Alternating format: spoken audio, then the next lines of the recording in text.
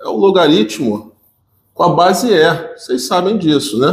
Deixa eu repetir isso aqui dentro rapidinho, olha só. Bom, A ao quadrado eu posso escrever como A vezes A, né? Raiz quadrada de menos 1, lembra não? Número imaginário, né? Unidade imaginária.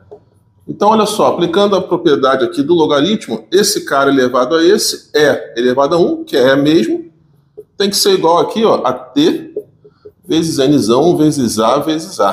Tranquilão? Bom, isso aqui está dividindo? Vai para o outro lado multiplicando também. Vai ficar aqui, ó, i vezes z vezes f. Como eu tenho uma igualdade, eu posso multiplicar os dois lados por L. Posso multiplicar por L, posso multiplicar por L, dá no mesmo, né? Ah, e outra coisa, como está tudo multiplicando, a ordem dos fatores não, não interfere em nada, né? Posso mudar a posição aqui, ó. F vezes E vezes L vezes I vezes Z igual a N vezes A, né? Vezes T